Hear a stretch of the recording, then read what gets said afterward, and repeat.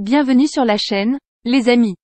Aujourd'hui, nous allons plonger dans l'univers fascinant de la vie de Tony Yoka après son divorce avec Estelle Mosselli. Le champion olympique de 2016 à Rio de Janeiro a connu des hauts et des bas tant sur le ring que dans sa vie personnelle. Après une ascension fulgurante, sa carrière a pris un tournant inattendu. Tony Yoka, autrefois considéré comme l'un des grands espoirs de la boxe, a dû faire face à des défis majeurs. Mais ce n'est pas tout, car sa vie personnelle a également été secouée par sa séparation avec Estelle Mosselli en 2021. C'est une page qui se tourne, déclarait Tony sur ses réseaux sociaux, évoquant les grands moments partagés avec Estelle, désormais gravés dans leur mémoire commune. Depuis lors, Tony Yoka a vécu des moments intenses, devenant père pour la troisième fois avec la naissance surprise de son fils Suleiman en avril dernier. Parti vivre à l'étranger après son divorce, Tony a été confronté à des défis géographiques pour rester proche de ses enfants.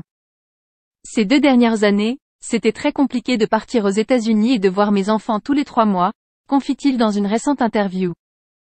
Mais l'histoire prend un tournant positif. Le champion a décidé de se rapprocher de ses enfants, établissant un nouveau rythme de vie entre Londres et Paris. Cette proximité familiale a apporté un nouvel élan à sa vie, d'autant plus qu'il a trouvé l'amour avec Chloé l'an dernier.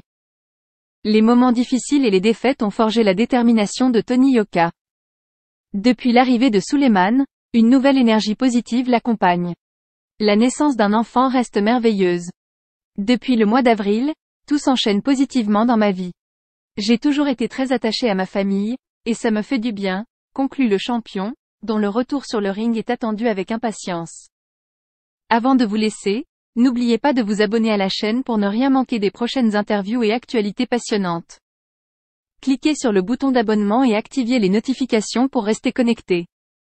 Merci à tous pour votre soutien continu, et à très bientôt sur la chaîne.